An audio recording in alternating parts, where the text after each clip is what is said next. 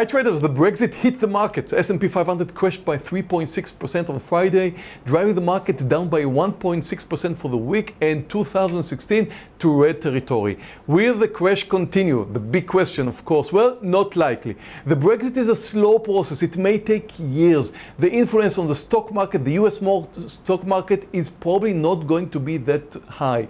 However, we need to consider the fact that the British pound is now declining and that will hurt the US economy.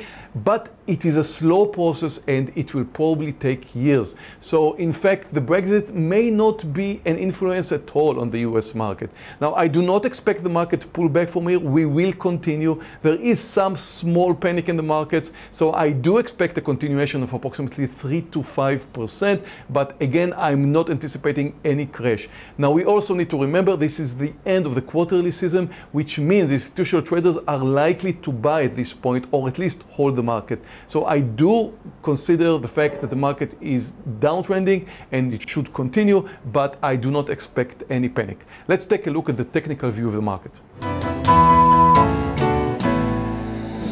When we take a look at the S&P 500 daily, we can see that the market moved down exactly to the point of support.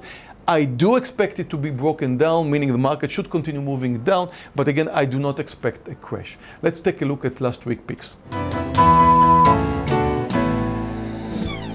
We had two picks last week. First one, CCI did well, although the market moved down. One of the few stocks that in fact moved up, did not reach my 3% target, but did almost uh, 3%, 2.7, and I hope that um, we're going to see some continuation this week.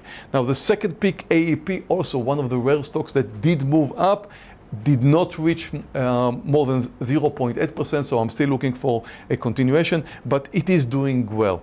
Let's have two picks for this week. My picks for this week are both financial companies. The market should continue moving down, however, financial stocks are very are getting hit very strongly. So the first one to short would be MS Morgan Stanley for short under 24 $23, and the second one is Goldman Sachs under 140 and 92 cents. I wish you a great trading week and see you next week.